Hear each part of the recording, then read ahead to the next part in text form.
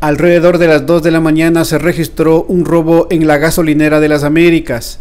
Se tratan de dos individuos que le arrebataron el canguro con dinero con alrededor de 1.200 dólares a la persona que estaba despachando gasolina en su interior y se dieron a la fuga. Posteriormente fueron detenidos en un terreno baldío de la parroquia Fátima.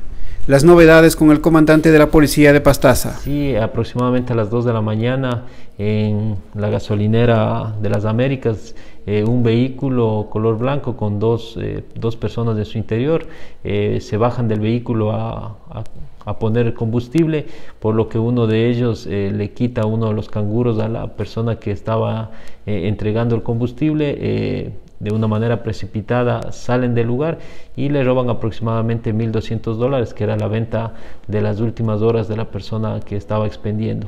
Eh, fruto de ello eh, se dan a la fuga, nosotros nos activamos con, con la policía, obviamente hacemos algunos recorridos, algunos patrullajes y producto de esto eh, fueron detenidos minutos después de la fuga en las cuales se les detuvo a las dos personas, uno de ellos tiene antecedentes penales y al vehículo en el cual cometieron el delito. Sí, son de nacionalidad ecuatoriana, están en estas próximas horas pasando la audiencia de flagrancia. Cuánto, a, qué, horas fue la, A las 2 de la mañana fue aproximadamente el hecho que se dio. ¿Ustedes lograron captar el vehículo más adelante? Sí, estuvo en, un, en una propiedad privada, en un terreno, habían estado el vehículo, entonces en ese momento la policía una vez que hicimos algunos recorridos, patrullajes para poder detectar en dónde estaba el vehículo, se le pudo ubicar y, al vehículo este. Y obviamente comenzamos a, a, a ver... A, a movilizarnos en el sector.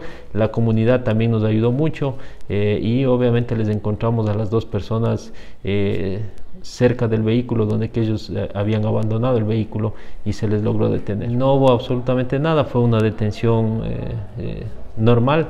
las cuales fueron puestas a órdenes de las autoridades. ¿El cuadro sería por asalto entonces? ¿no? sí, le, así es.